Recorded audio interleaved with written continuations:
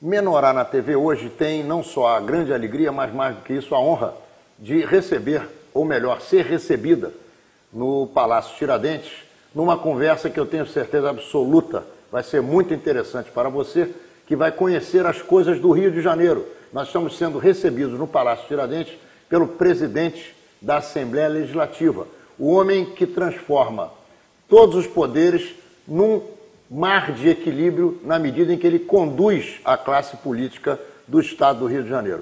Com muito prazer, com muita honra e com muita alegria, eu converso com Paulo Melo, o presidente da Assembleia Legislativa do Estado do Rio de Janeiro. Tudo bem, deputado Paulo Melo? Tudo bem, Ronaldo. Obrigado aí pela oportunidade de participar do seu programa, né, de levar né, uma mensagem da Casa Legislativa, do poder mais democrático, aquele que mais se aproxima da popula população e que mais críticas também sofre exatamente por permitir o diálogo e o permanente contraditório. Menorá na TV entrando no ar mais uma vez.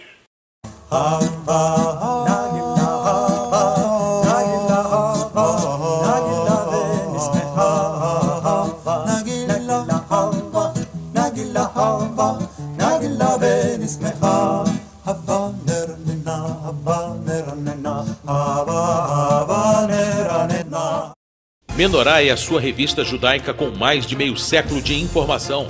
Nesta edição, um passeio inédito pela liberdade religiosa em Israel, com entrevista exclusiva com o Mufti de Jerusalém e nossos colunistas abordando os mais variados temas. Assine Menorá e garanta a qualidade da sua informação.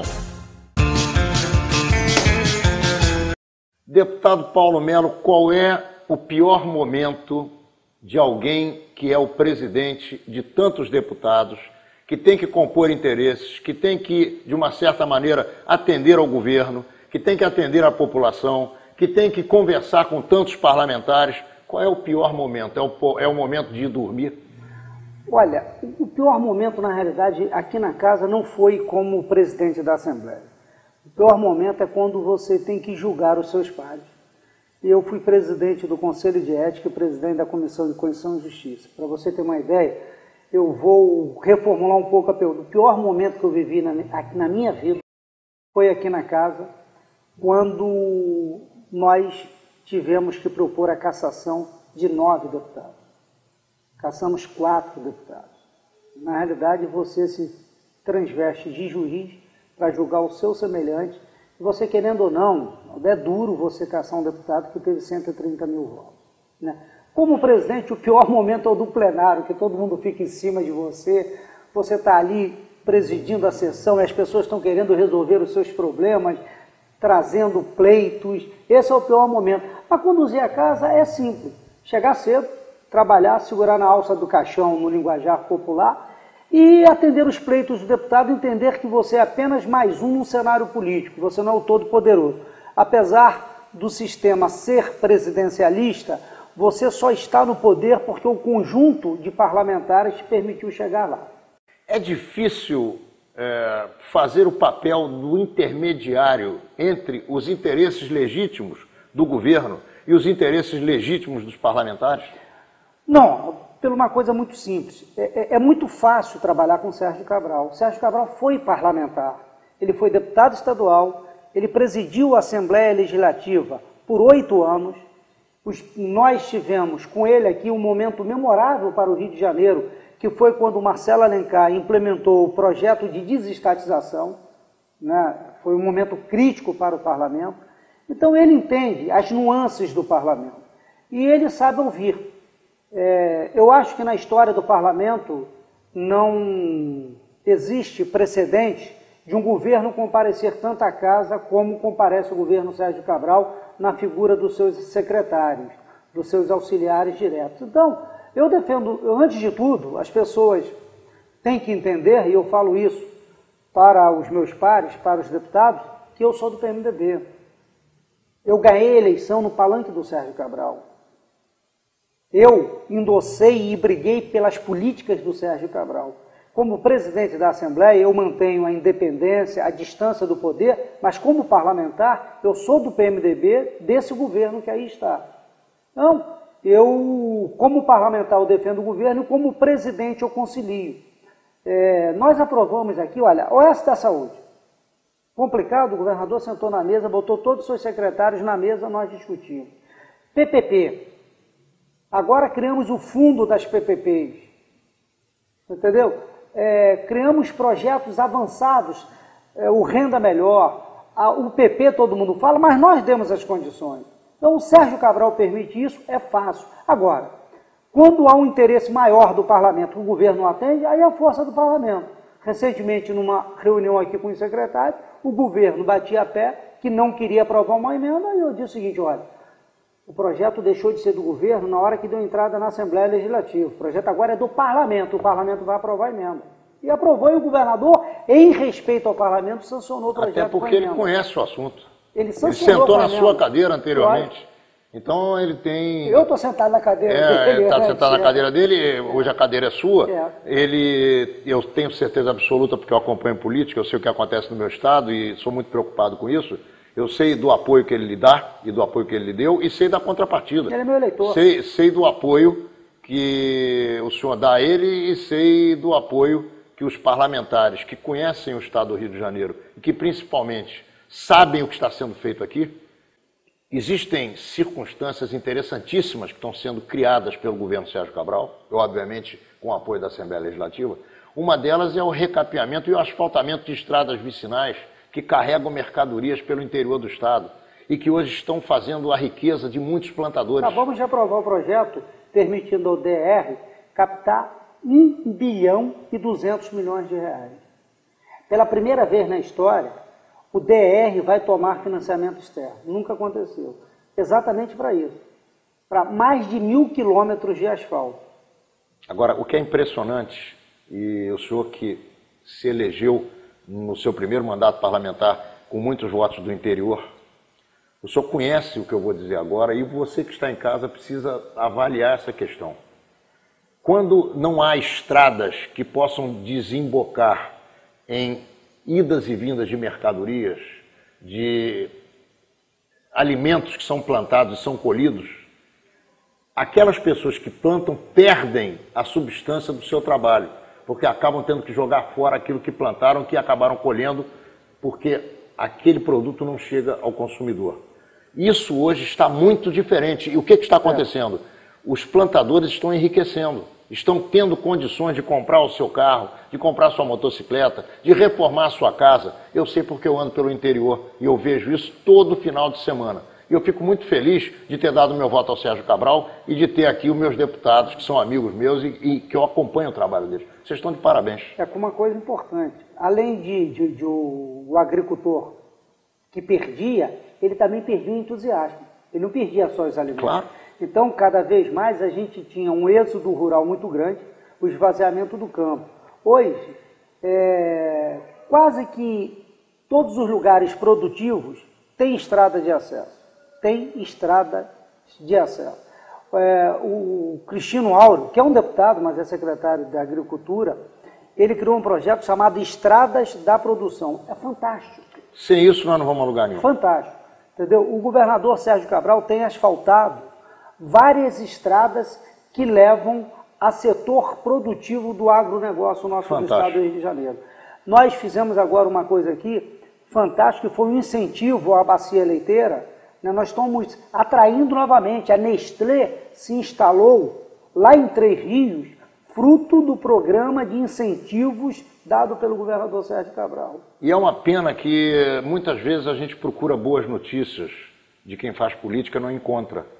E é para isso exatamente que a gente serve. Aquele jornalista que tem consciência, ele tem que oferecer o microfone ao parlamentar, ao governante, para que ele possa expor o que é que ele tem feito. Eu vou lhe fazer a seguinte pergunta: Como é que estão os deputados em função das grandezas que vêm aí à frente com relação ao Rio de Janeiro? Vamos falar de Olimpíadas e de Copa do Mundo. O que é que nós vamos poder esperar da Assembleia Legislativa? Olha, a Assembleia está muito parceira. Eu sou obrigado, inclusive, de reconhecer a participação e a colaboração de deputados de oposição. É, o deputado Luiz Paulo é um deputado de oposição que contribui muito com o governo. Ele faz a política dele, discurso em plenário, mas contribui muito. Nós demos e continuaremos a dar todos os mecanismos para que o governo tivesse condições de empreender um plano audacioso, ambicioso e estratégico para o Estado do Rio de Janeiro. As Olimpíadas, nós não ganhamos por acaso. Foi tudo que foi feito. Né? E nós, da Assembleia, ajudamos inclusive a Prefeitura. Acabamos de aprovar agora a permissão para que a Prefeitura pudesse explorar o esgoto na Zona Oeste. Uma medida da Assembleia Legislativa, o que vai permitir que a gente se prepare cada vez mais para receber esses mega eventos, como a Copa do Mundo de 2014. Antes, nós vamos ter um mega evento que eu fiquei surpreso em Madrid, que é a Jornada Mundial da Juventude Católica. Em Madrid tinham 2 milhões de jovens caminhando pela rua. Maravilha. Nós vamos ter a Copa do Mundo 2014 e o advento das Olimpíadas, né, que eu acho que é o maior encontro do mundo da prática de esporte. E o Rio de Janeiro vai ganhar, porque diferente da Copa, é diferente do Encontro Mundial da Juventude, as Olimpíadas deixam um legado, um legado muito grande para a população. Você conhece, você viaja, você vê que Barcelona, o que era Barcelona, o que Barcelona hoje. Portugal, Lisboa mudou só uma exposição europeia. Então, é um legado que nós vamos aproveitar e que a Assembleia está dando toda a colaboração. Você não tem ideia do que nós aprovamos. Eu Anterior à entrevista que eu estou te dando aqui, nós aprovamos mais de 30 medidas que só beneficiam o Rio de Janeiro. No campo dos tributos, no campo social, no campo das iniciativa, da iniciativa privada, no campo do crescimento econômico para o Estado do Rio de Janeiro, no campo da segurança pública. Então, nós estamos com o governador Sérgio Cabral antenados compromissados, porque é um momento que a gente não pode perder. Você conhece política. O Rio de Janeiro passou muito tempo isolado. Eu queria te fazer essa pergunta. Qual é a importância dessa montagem que começou, num primeiro momento, com o governador e o presidente da República Lula, governador Sérgio Cabral e Lula, e hoje é uma montagem que une Câmara dos Vereadores, Prefeitura do Rio de Janeiro, Assembleia Legislativa, é, governo do Estado, deputados federais, senadores, pelo, pelo engrandecimento do Rio de Janeiro com a presidente da República? Capacidade do governador Sérgio Cabral. Sérgio Cabral tem uma capacidade ímpar.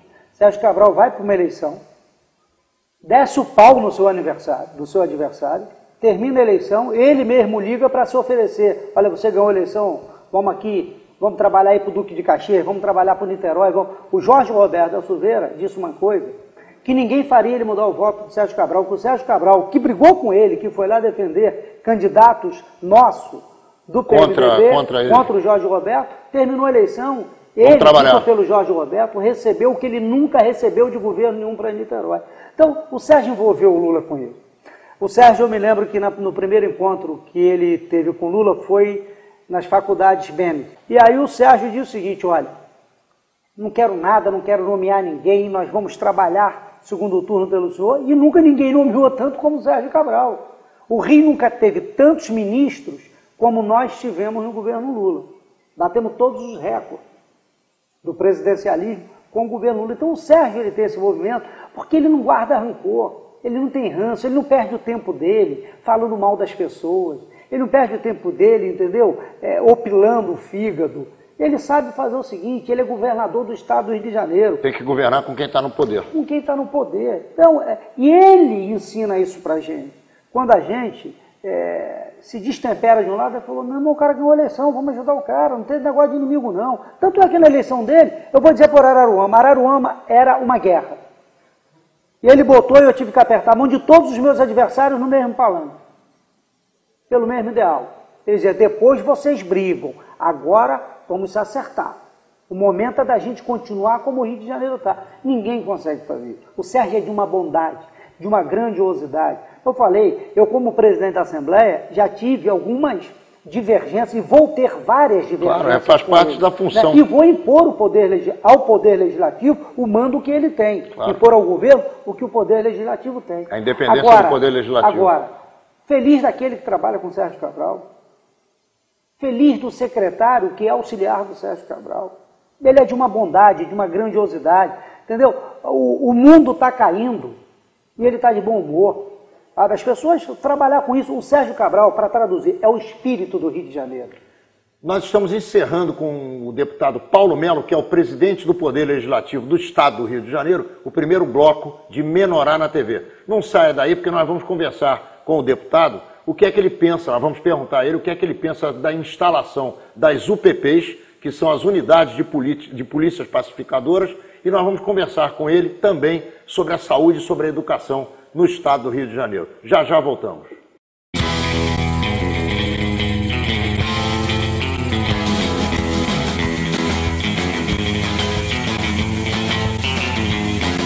terminou a Guerra do Iraque. O anúncio oficial foi no dia 15, com o secretário de Defesa americano removendo a bandeira em Bagdá. Foram quase nove anos de conflito desde o ataque às torres do World Trade Center em Nova York. A promessa de George W. Bush de levar a guerra a quem a fomentou foi cumprida. A promessa eleitoral de Obama de trazer os soldados para casa está se cumprindo. Mas o custo foi alto. 4.500 soldados americanos e dezenas de milhares de iraquianos morreram ao longo destes anos. Os últimos 4 mil soldados americanos se retiram do Iraque nos próximos dias, deixando o país em um clima de insurgência e incerteza política. É bom lembrarmos que antes da invasão do Iraque, os Estados Unidos possuíam bases com mais de 30 mil homens na Arábia Saudita, mas elas foram desmobilizadas para o Iraque. Agora, a presença americana na região fica centrada na frota naval do Golfo Pérsico. Antigamente você os via, depois não via. Agora eles estão de volta. Os outdoors em Jerusalém apresentando mulheres na propaganda estão de volta às ruas. Os judeus ortodoxos da Cidade Santa estão furiosos e prometem vandalizar as propagandas. Os anunciantes em Israel dizem que nunca houve qualquer lei que proibisse mulheres na publicidade e que campanhas nacionais vão ser mantidas na capital de Israel. A primeira delas é sobre transplantes de órgãos, coisa a qual os ultra-ortodoxos também são contra. Mas as agências também garantem que não estão ofendendo os ortodoxos e nenhuma campanha figurando mulheres será colocada em bairros ortodoxos ou meios de transporte de uso preferencial para ortodoxos. Oi, vocês sabem que o ex-presidente de Israel, Moshe Katsav, foi condenado a sete anos de prisão por estupro e delitos sexuais contra três subalternas quando era titular da pasta de turismo e chefe de Estado. Ele começou a cumprir sua pena no dia 6 de dezembro desse ano. Isso não é um assunto fácil, mas é um exemplo de como a justiça de Israel funciona e o quanto a democracia é levada a sério. O ex-presidente nega as acusações e diz que a relação com uma das vítimas foi consentida. De qualquer forma, ele não conseguiu provar e agora vai cumprir a pena. O fato de Moshe Katsav ter sido presidente não exime de seguir as leis e cumpri-las como qualquer outro cidadão israelense. É importante dizer que em tempos em que outros países, presidentes cometem atrocidades contra seu próprio povo, e nada pode justificar isso. O ex-presidente não é o único político a ser condenado por crimes. Em Israel, não importa se você é presidente, primeiro-ministro ou um cidadão comum, se cometeu algum crime, será responsabilizado. Até semana que vem.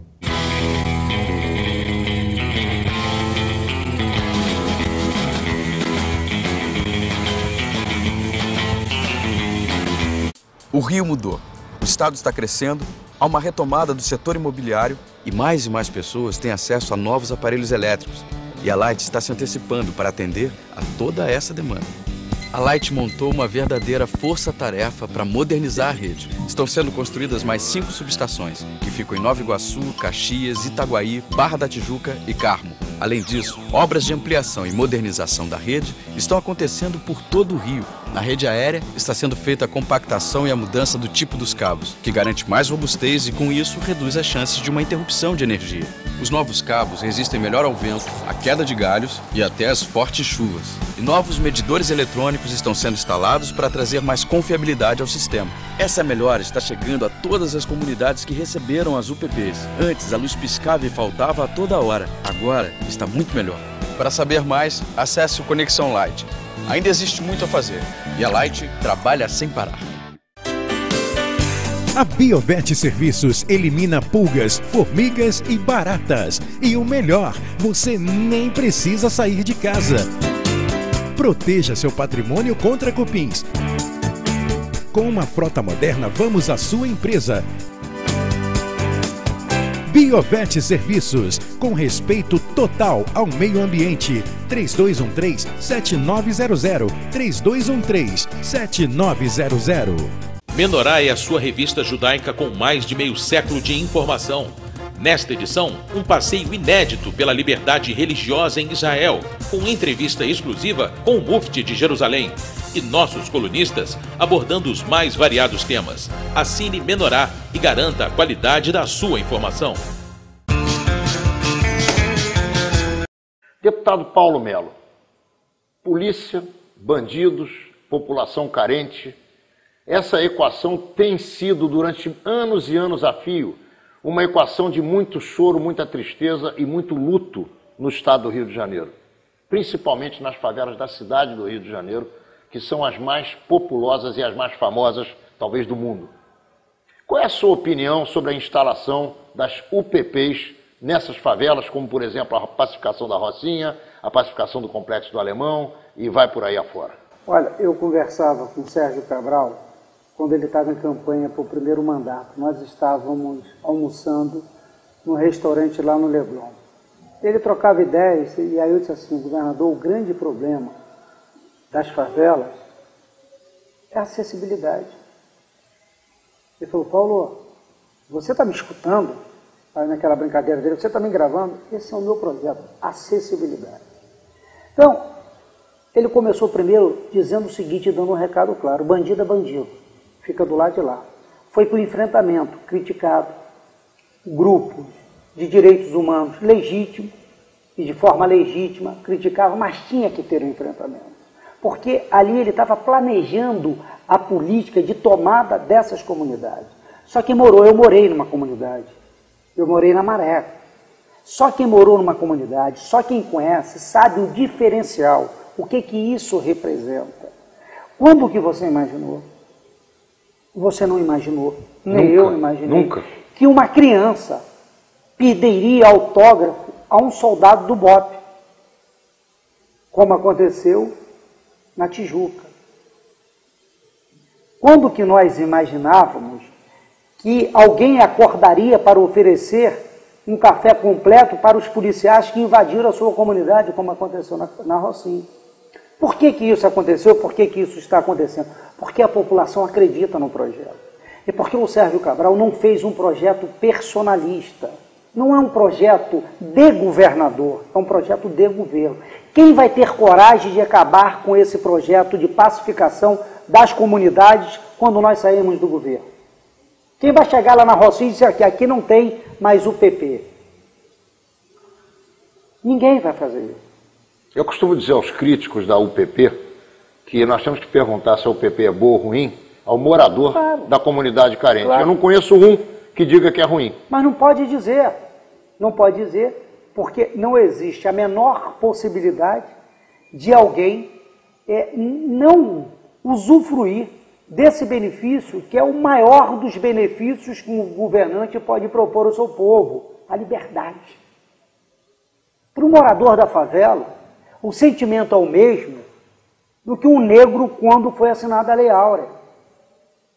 Da libertação, da libertação da alma, da libertação do corpo, do direito a ir e vir, sabe? De não ter que se preocupar se o traficante vai pegar a sua filha, vai matar o seu filho.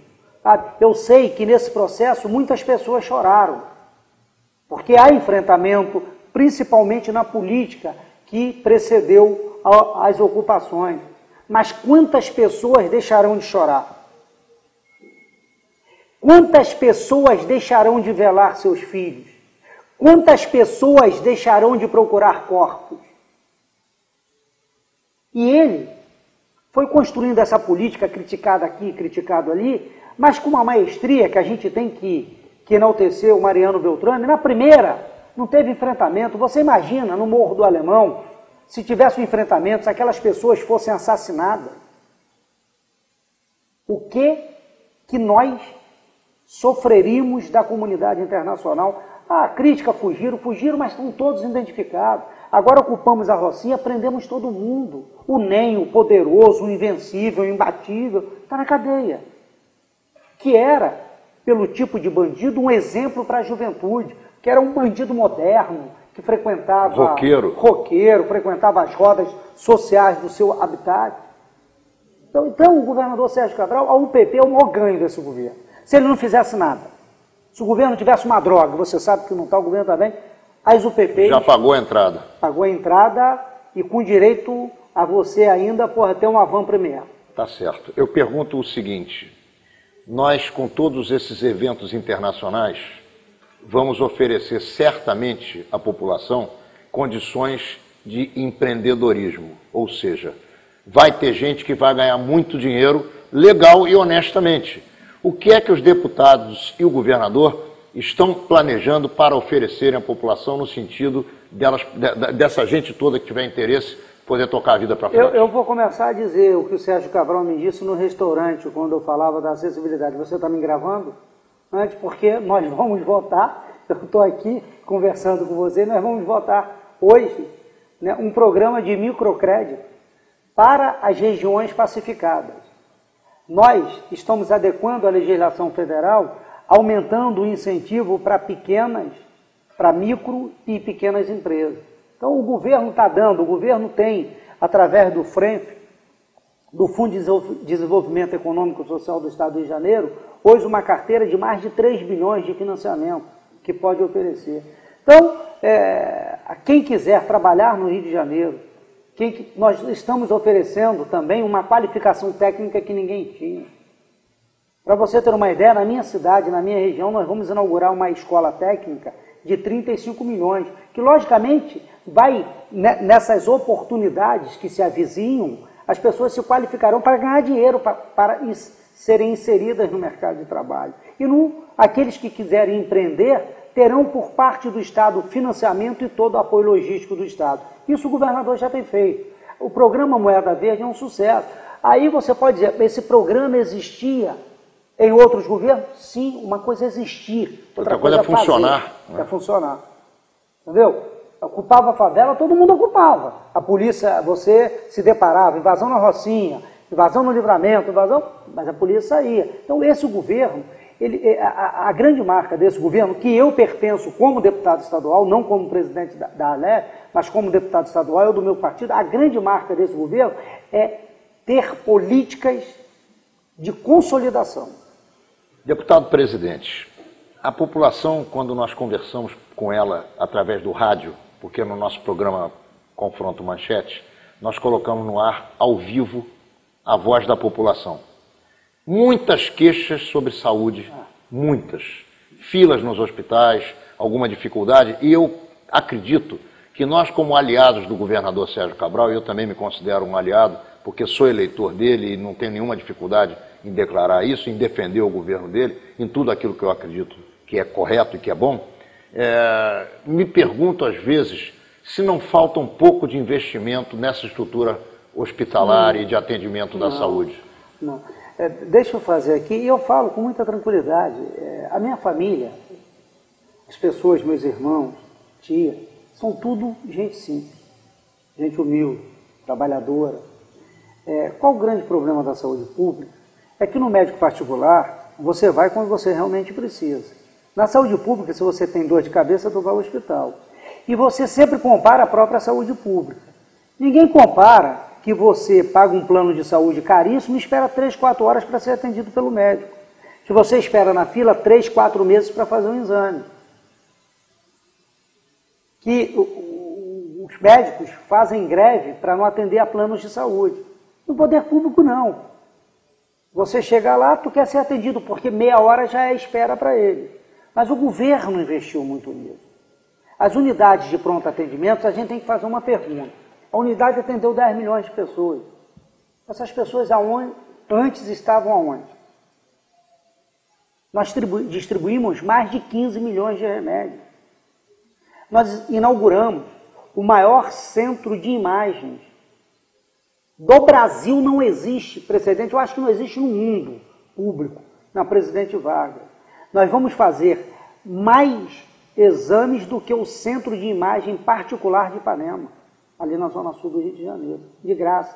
Nós vamos fazer uma intervenção coronariana, que é um, uma nova tomografia, que você só tem em três hospitais particulares do Rio de Janeiro.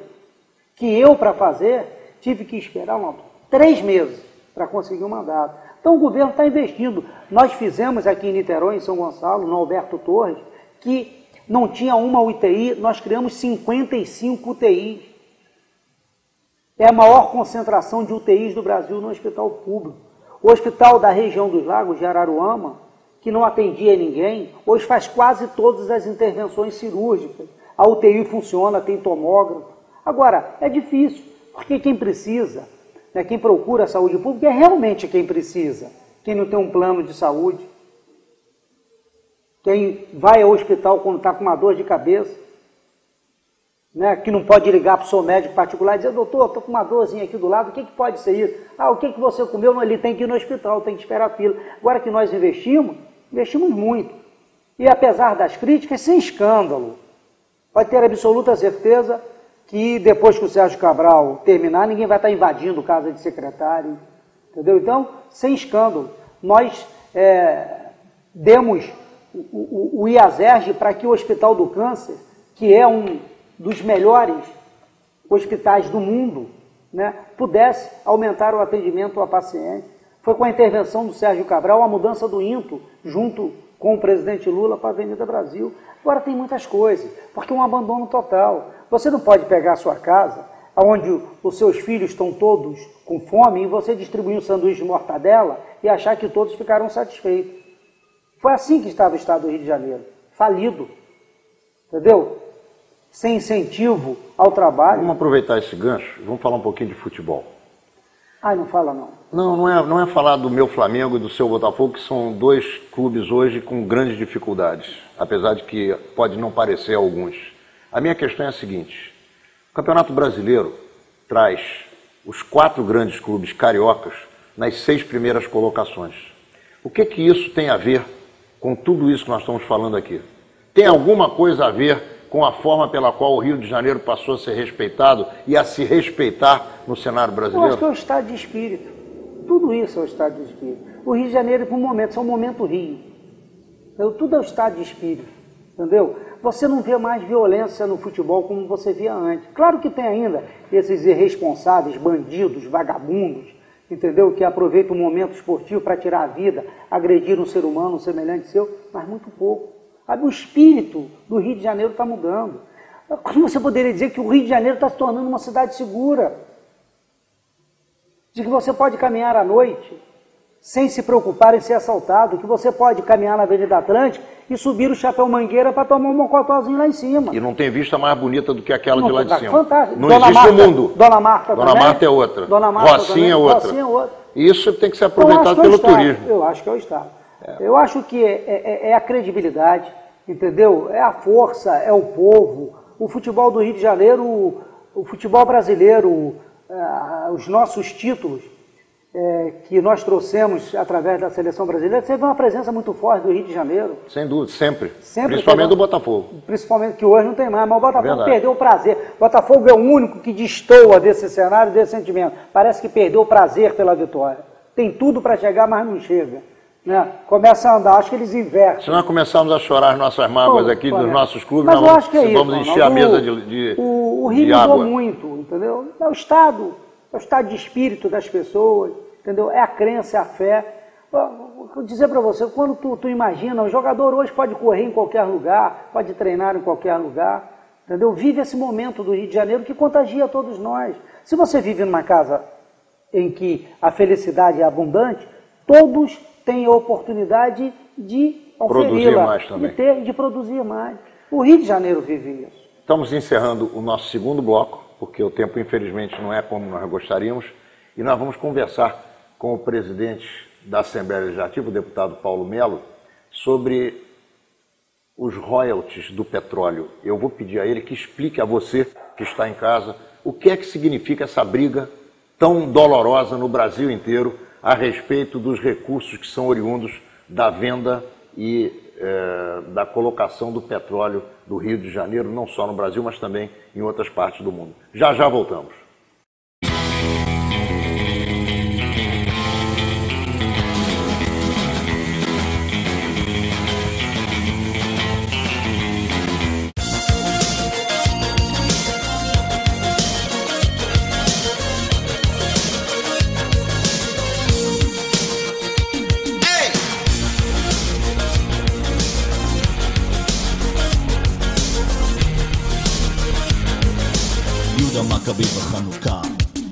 Was a rebel with a cause and he would never say die. He was a fearless faithful fighter and a Jewish guy. There was a song about to start, it was the rhythm in his heart. So the people screamed, come on, Rocky Maccabeus. He was a superstar, he was so popular. The people stopped to stare because he had such flair. He was charismatic like a cool rock star. His fans would stand and shout, come on, Rocky Maccabeus. Maccabeus, Maccabeus, Maccabeus, Maccabeus, Maccabeus, Maccabeus, Maccabeus, Maccabeus, oh, oh, oh. I come and rock me Maccabales. Maccabales, Maccabales, Maccabales, Maccabales, Maccabales, Maccabales, Maccabales, he never cared about the Greeks and their oppressive rules. He vowed to take the soldiers down and make them look like fools. He was no slave to the grind, he had the temple on his mind. He wanted freedom of religion, not submission or derision. He was a superstar, he was so popular. The people stopped to stare because he had such flair. He had a charisma, he was a rockin' Hebrew hammer, so his fans cried out, Come on, rock me, Maccabeus. Maccabeus, Maccabeus, Maccabeus, Maccabeus, Maccabeus,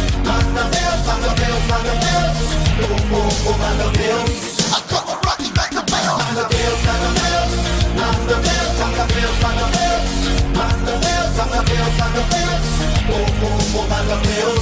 Come and rock me, Maccabeus. Oh, oh, oh, oh, oh, oh, oh, oh, oh, oh. Oh, oh, oh, oh,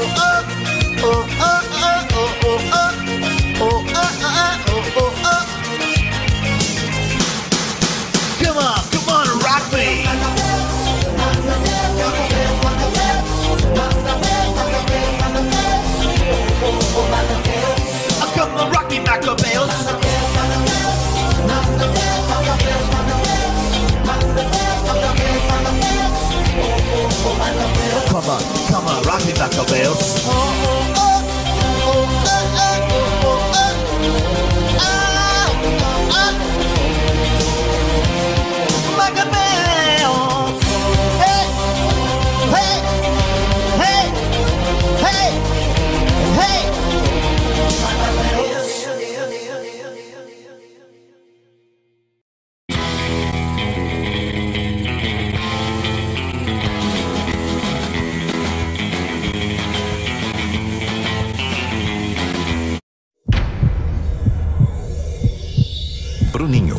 8 horas de treino diário para os Jogos Olímpicos.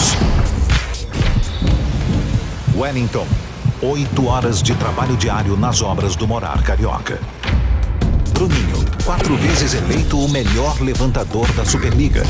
Wellington está levando asfalto, saneamento e moradia a dezenas de comunidades e milhares de famílias. Bruninho, medalha de ouro no PAN 2011. Aí, moleque, tem mais coisa aqui pra levantar, hein? O Morar Carioca é um dos grandes projetos da cidade olímpica, o Rio mais desenvolvido e integrado. Junte-se a nós, o cidadeolímpica.com. Prefeitura do Rio, sempre presente. Você já imaginou passar 365 dias de férias?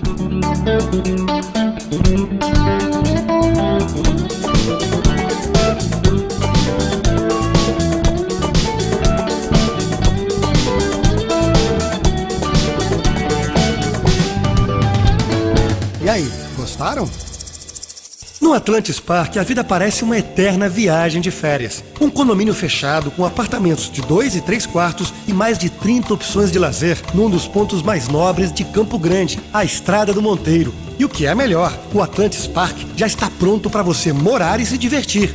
Mude já por apenas 141 mil reais e ainda ganhe os armários da cozinha ou do quarto. Atlantis Park. O apartamento decorado e a área de lazer estão prontos esperando você. Venha conhecer o melhor condomínio de Campo Grande na Estrada do Monteiro, número 323, e fale com um corretor ou ligue 3539 5011. Menorá é a sua revista judaica com mais de meio século de informação.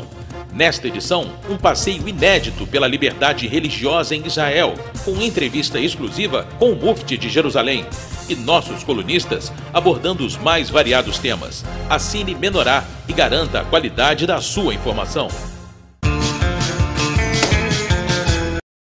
Presidente, qual é o foco dessa briga do petróleo? Explica para o telespectador, porque muitas vezes ele lê no jornal, ele vê na televisão, mas ele não entende direito qual é o fio dessa meada.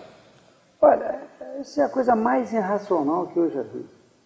Na realidade, é você tirar um bolo legítimo, né, um prato de comida legítimo, que está nas minhas mãos, e sair correndo no meio da rua e distribuí-lo para uma multidão. Você me deixou ter fome e você não saciou a fome de ninguém. Nós temos mais de 5 mil municípios no país. O que querem tirar o que o Rio tem para distribuir para mais de 5 mil municípios. Se acrescenta que tem municípios que vai ganhar 5 mil, 6 mil, 4 mil por mês, e o Rio de Janeiro vai se destruir, porque não é nenhum favor. Os royalties não é um privilégio. Os royalties não é um privilégio, essa renda. Ao contrário, isso é uma compensação pela vergonhosa atuação da Constituinte contra o Rio de Janeiro, quando, por falta de capacidade da nossa bancada federal, nós permitimos que se perpetrasse a maior covardia contra um Estado brasileiro. Excepcionalizar. O petróleo e a energia são os únicos produtos que você não paga na produção, paga no destino. Ou seja, toda a gasolina que nós produzimos aqui enriquece São Paulo, Toda a energia que Furnas, principalmente nas usinas nucleares, produz aqui, toda essa energia que é consumida por São Paulo, por alguns estados do Sul e Sudeste, enriquece esses estados. Porque o imposto é cobrado de, Lá, de quem está consumindo, de quem está consumindo. e não de quem não, está produzindo. Não, então tudo que nós produzimos.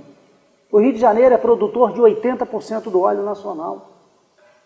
Se 80% do óleo nacional nós não recebemos, nós recebemos 1 ou 2% desse total de imposto do ICMS previsto na nossa legislação na Lei 2.657. Como é que vai ficar 97. a questão do royalties? Então eu queria, só, só para dizer lá, então isso é uma covardia.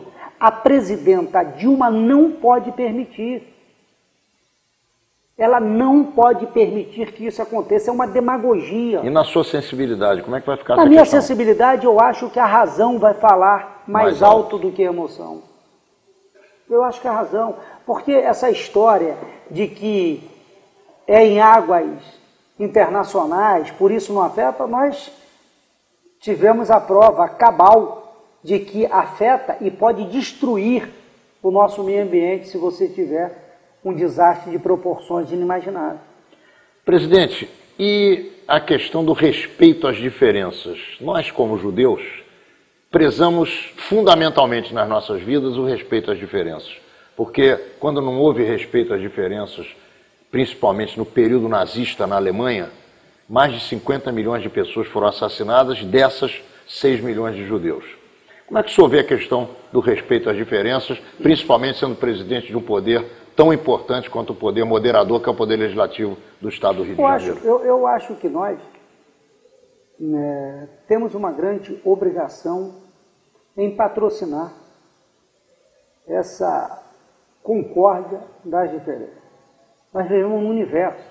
O universo é a tradução de uni e diverso. In e diverso. Nós vivemos no universo. Nem todos são iguais.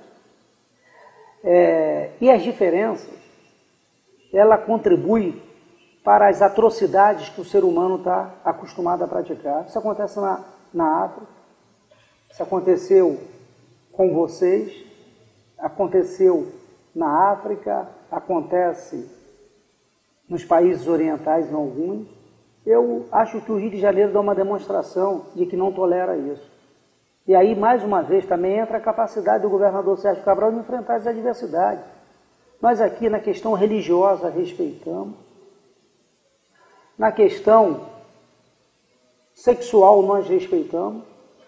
Na sua liberdade sexual, nós respeitamos. O Rio de Janeiro foi o primeiro a reconhecer a relação estável entre casais homossexuais, inclusive respeitando é, no serviço público. Então, eu acho que o Rio de Janeiro, a história do Rio de Janeiro é uma história de diversidade. Né? O Rio de Janeiro tem gente de todos os lugares, com seus credos, com as suas crenças, sabe, com as suas opções sexuais. Então, o Rio de Janeiro é, e a Assembleia é muito capaz nisso de entender é, esse momento em que se vive no mundo e que a gente aqui tem que dar uma demonstração. Veja você, a gente sabe que tem violência, mas você não presencia as violências que acontecem em São Paulo, porque o governante tem que dizer. Os homens públicos têm que deixar claro que não toleram esse tipo de atividade nem de comportamento. Eu acho que o Rio de Janeiro reconheceu o Holocausto, o Rio de Janeiro reconhece a relação homossexual, o Rio de Janeiro patrocina todas as crenças religiosas. Aqui nós aprovamos, é uma coisa que tem que se elogiar, o dia de Xangô, em que um ou outro evangélico não vota, o resto vota. No dia do judaísmo, um ou outro pode não querer votar, eu nunca vi, mas 90%, 95% do parlamento vota. E a questão da educação no estado do Rio de Janeiro? O que, que nós podemos dizer para a população em relação a salário de professor, a como vai o ensino médio é, oferecido à população? Como é que o governo tem se saído e como os deputados têm eh, se comprometido e, e de uma certa maneira, dado suporte ao projeto educativo do governo? É, olha, o governo fez o que ninguém tinha feito até hoje, né? dando aumento sistemático. Demos um aumento grande, claro que é parcelado. Você tem um universo muito grande de professores. Se der 10% de aumento, equivale a 400 milhões, 500 milhões. Nas contas públicas, tem uma influência muito grande. Mas nós fizemos aqui, os professores estavam, desde que o Darcy Ribeiro criou o, o ensino integral, que os professores não tinham reconhecido a carga horária, não tinha plano de cargo de salário do professor 40 horas. O Sérgio Cabral fez. Nós Agora, com uma decisão judicial, trabalhamos para os animadores culturais. Agora está muito distante daquilo que nós queremos. A realidade não é uma realidade virtual, é da vida real. O professor ainda ganha mal, mas ganha muito mais do que ganhava antes. Você tem professor em final de, em final de carreira com salário de 5 mil reais. Muito pouco para quem é o esteio de nossas vidas para quem dá, ensina a você a dar o primeiro passo, a formar a primeira palavra, né? e depois consolida o seu intelecto no final da sua vida, fazendo da formação que vai te perseguir por resto da vida. É muito pouco, mas o governo tem tentado acertar. O governo acertou agora quando despolitizou a educação. Falo isso com muita tranquilidade. Hoje, deputado nenhum indica mais coordenadoria de educação. O governo sabe enfrentar isso, chama os deputados para dizer, não deu certo, se não deu certo até aqui, vamos mudar. Então o governo tem trabalhado nisso. Mas eu acho que está construindo e reformando escolas. Nós, nós somos um país tropical, o ar, ar-condicionado, como que não faz? Vai para uma sala de aula com calor infernal. Se não fosse bom, escolas particulares não tinham. Concorda comigo? Claro, Escola particular não tinha. Então o governo está fazendo isso. A questão das reformas da escola, a informatização da educação, um incentivo ao ensino através de premiação para os alunos mais bem colocados. Então o governo está fazendo, mas ainda está muito distante daquilo que nós pretendemos que obrigatoriamente teremos que atingir. Presidente, fala um pouco do seu governo aqui na casa. Essa casa é um palácio espetacular, é. que tem uma história formidável, o Rio de Janeiro já foi a capital da República. Nós já tivemos aqui o presidente da República com a sua sede no Catete. a Assembleia Legislativa, esse prédio da Assembleia Legislativa, o Palácio Tiradentes, tem histórias maravilhosas e importantíssimas para a consolidação da vida do Rio de Janeiro. Como é o sentimento do presidente da casa no poder? Olha, para mim é muito especial, porque eu já dormi, né, além dessa, da, desse palácio ter toda essa história, esse palácio também me abrigou. Eu já dormi muitas vezes nas escadarias desse palácio no tempo que eu perambulava pelas ruas do Rio de Janeiro. Então isso para mim tem um significado muito grande. O que é, é, tem de prazeroso para mim é que eu sou chefe de um poder, num palácio histórico, aonde por qualquer lugar, buraco que você pesquise, tem a história do Brasil, foi a cadeia velha. Daqui Tiradentes saiu para ser executado, esquartejado. Né? Aqui tem a história, aqui o imperador frequentado. A República teve força aqui.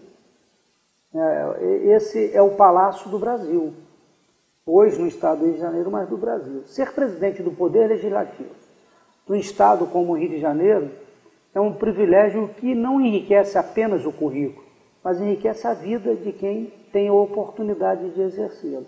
O que eu procuro aqui fazer nesse governo que é trabalhar muito, é respeitar o dinheiro público, é procurar uma política de transparência, é dar exemplo, chegar cedo, eu chego cedo, saio quando tenho que sair, até presidir todas as sessões. Eu só não presidi quando eu estava viajando em missão oficial, mas presido religiosamente no horário regimental, às 4h30. E é entender que você não é dono do poder, você é passageiro. Então, passageiro desse vagão. Poder é extremamente efêmero. Se você não tiver consciência da efemeridade do poder, você não atropela, você se atropela. Então a gente tenta com muita tranquilidade e para mim tá era o meu sonho, eu realizei meu sonho. Então quem realiza o sonho não pode reclamar de nada, né?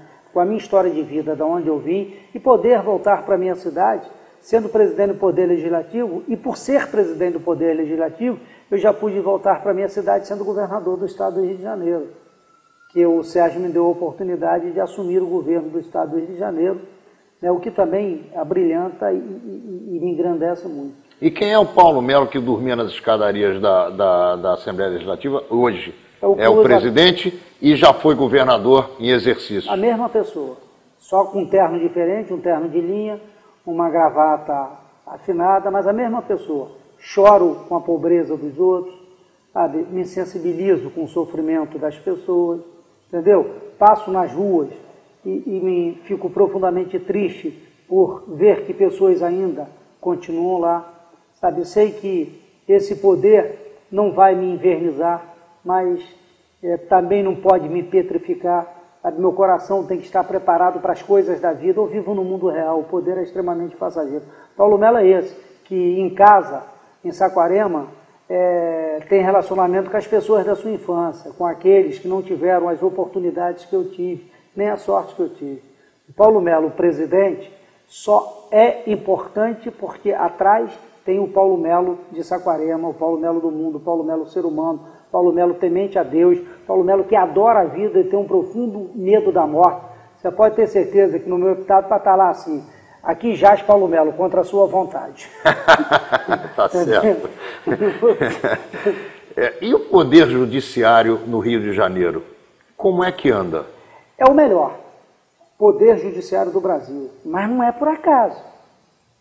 Essa casa, a Assembleia Legislativa do Estado do Rio de Janeiro, tem importância, teve e tem importância fundamental no processo de aperfeiçoamento do poder judiciário, na oferta de justiça aos jurisdicionados, entendeu? Nós aqui fizemos todas as leis, fomos o Estado a criar o primeiro juizado especial civil, depois o juizado especial criminal, Fizemos o Fundo da Justiça.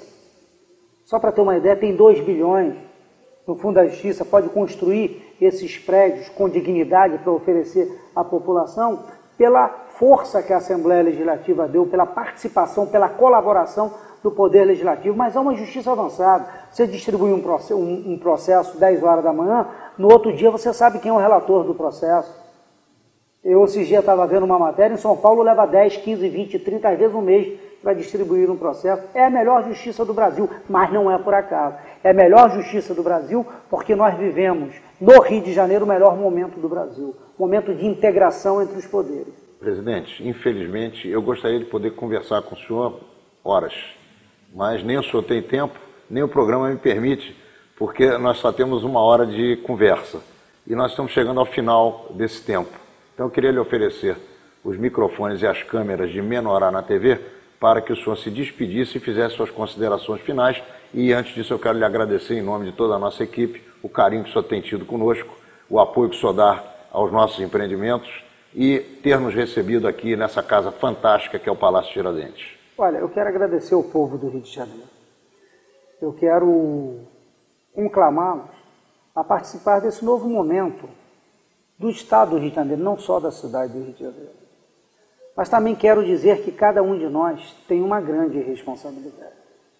A classe política, aquela que mais sofre as críticas, é porque também é a mais aberta à população. E se hoje nós não temos os políticos que a sociedade gostaria de ter, é porque a sociedade vota errado. Nós temos que aprender a escolher os nossos representantes. Eu quero convocá-los a participar do processo de transformação do nosso Estado, das mudanças estruturantes, do processo do dia a dia da consolidação da cidadania plena. Participe. Você já veio na Assembleia Legislativa ver como o deputado que você elegeu trabalha? Cobre, participe, dê sugestão. É muito importante para que a gente possa ter uma democracia consolidada. Menorá na TV entrando no ar mais uma vez, na próxima quarta-feira, às 10 horas da noite, e em todos os dias na repetição em que você está acostumado a nos assistir. Você olha aqui embaixo e você vê as datas e os horários. Nos vemos lá. Menorá é a sua revista judaica com mais de meio século de informação. Nesta edição, um passeio inédito pela liberdade religiosa em Israel, com entrevista exclusiva com o Mufti de Jerusalém e nossos colunistas abordando os mais variados temas. Assine Menorá e garanta a qualidade da sua informação.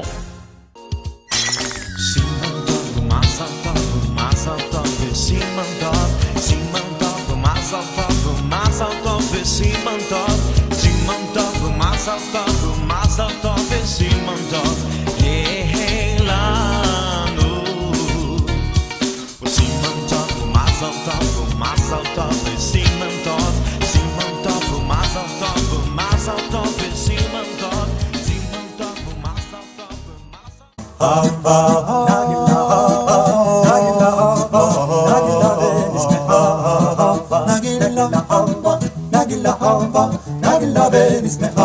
habanera, habanera, habanera, habanera,